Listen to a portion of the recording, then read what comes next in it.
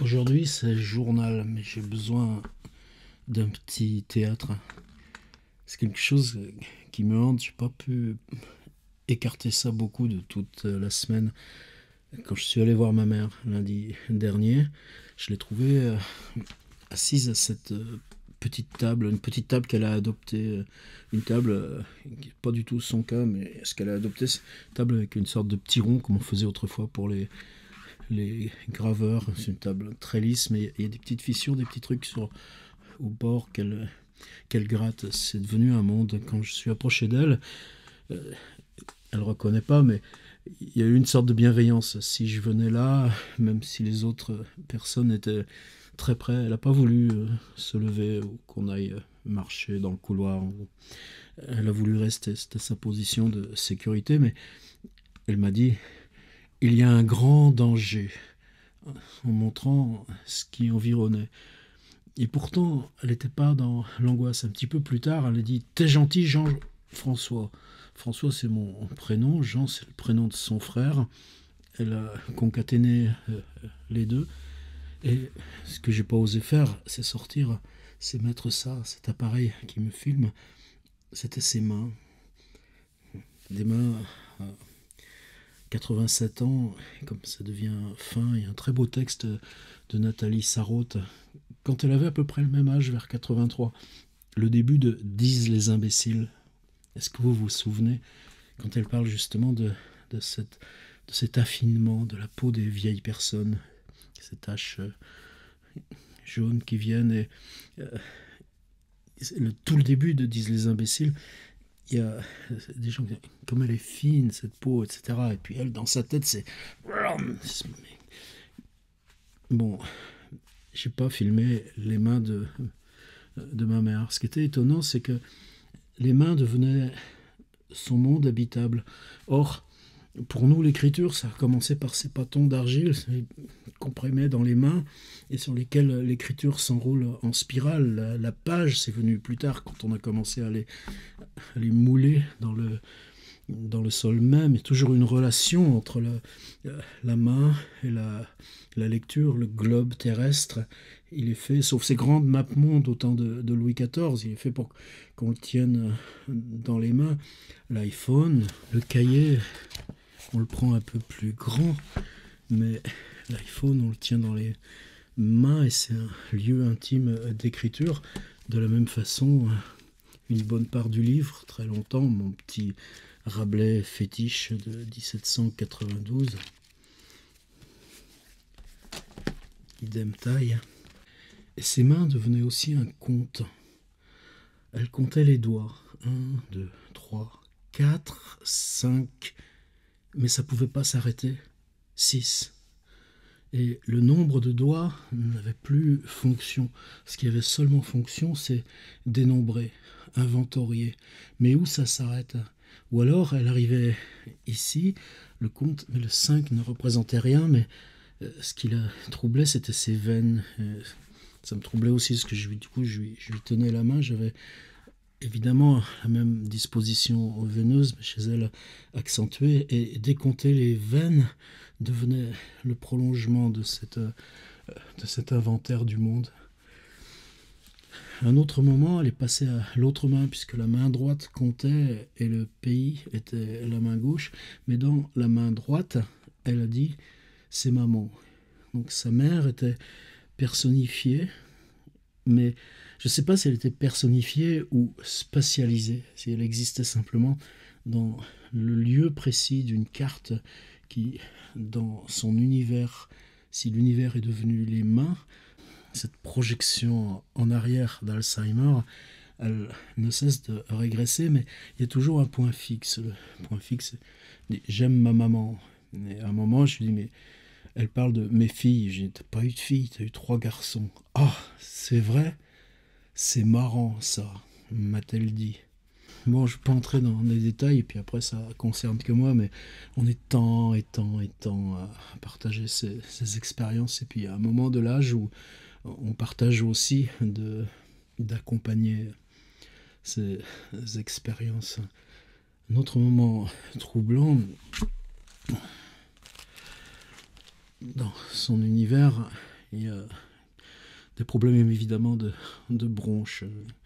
Et elle qui a toujours été extrêmement scrupuleuse sur ses vêtements, des fois elle n'hésite pas à prendre un pan du gilet et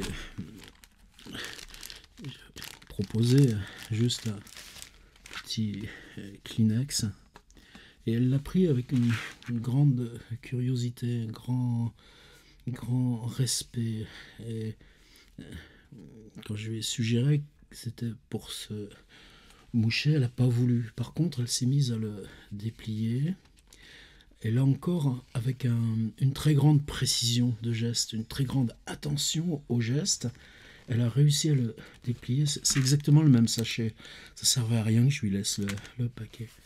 Et une fois là, de suivre les lignes, et puis elle a réussi, là encore, à le replier avec la plus grande perfection. Vous croyez que c'est facile? Probablement, mais quand tout devient difficile, est-ce qu'un geste aussi facile que ça? Pourquoi c'est impressionnant? Parce que nous, jamais on le fait, ce geste. C'est pas une surface, c'est pas. Et alors, comment c'est ça?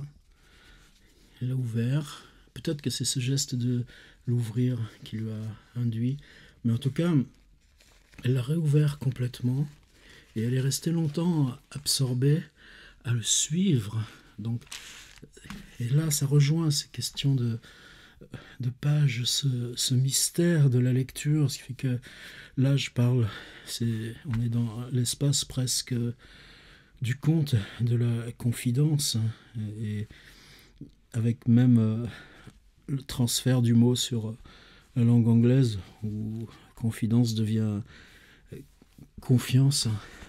À qui ou en qui j'ai confiance de parler ici à un objet technique, sachant que cet objet technique est la médiation d'un rapport humain vectorisé par le temps, soumis ou, bénéficiant de l'attention par le temps que euh, vous seul avec qui on partage l'instant apportez.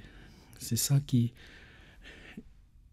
n'est pas fascinant en tant que euh, chose technique du moment, mais en tant que chose aussi ancienne, aussi ancestrale, aussi native, qui remonte même pas à l'origine de l'écriture, mais à cette instance encore beaucoup plus mystérieuse pour nous, qui est euh, l'invention du langage parlé, alors que d'autres systèmes de langage, des rituels, des positions de cailloux érigés en rapport aux événements astronomiques ou des fresques et des peintures sur les grottes ornées pouvaient être des systèmes de langage dispensant de l'appropriation de la, de la parole.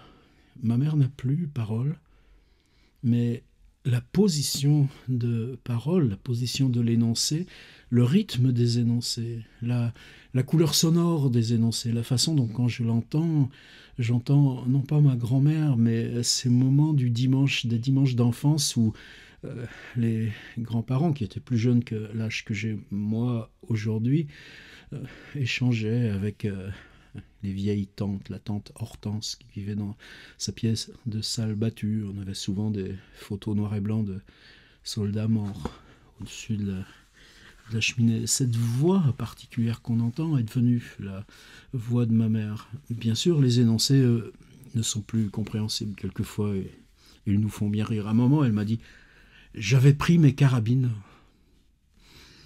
En tout cas, elle était là et elle me l'a refermé encore. Elle voulait absolument que euh, je le reprenne. Je ne savais pas si, dans, dans l'idée que cette chose précieuse, je devais la remporter avec moi, c'était un cadeau qu'elle me faisait, ce qui me fait beaucoup penser aujourd'hui. Qu'est-ce qu'il y avait dans euh, je l'ai toujours d'ailleurs là, mais il est trop chiffonné pour que je l'utilise pour ce film, mais je l'ai gardé dans ma poche toute la semaine depuis celui qu'elle avait manipulé. Et en tout cas, ou alors tout simplement parce que je l'avais apporté avec moi, on l'avait partagé, mais l'idée de la possession lui est devenue totalement étrangère. Donc il fallait que je le remporte, moi qui étais celui qui avait amené cette chose. Et là, sur la feuille ouverte, elle s'est mise à me montrer des suites de lettres X, W, il y a eu A, D, et ainsi de suite. L'alphabet revenait, l'alphabet revenait comme des lettres d'un récit perdu qu'on déchiffrait sur une page blanche, mais une page blanche qui se repliait en livre. Et le format original, c'est ça, mais vous savez, Walter Benjamin, se fascinant pour ses bibles miniatures, grosses comme un petit carré de sucre sur lequel toute la Torah est, écrite, eh bien, on peut le, comprimer encore, on peut le, le replier encore. Qu'est-ce qui s'exprime de secret et de lettres dans un tel objet quand vous l'emportez et que la personne qui vous l'a remis y a vu une telle aventure de langage qui serait le geste le plus fondateur, le plus énigmatique du passage. Alors c'est là où on retrouve aussi Wilhelm Flusser. La lettre comme image, dire même pas l'articulation du récit euh, à partir du moment où l'écriture iconique devient écriture syllabique, mais quelque chose de plus étrange, là où le mystère de la lettre est dans ce qu'elle comporte encore d'icônes, de la valeur symbolique attachée à l'image, un aboutissement où l'écriture, en tant qu'aventure générale, participe de l'aventure de l'image, et ça rejoint bien ce qu'on fait ici ensemble.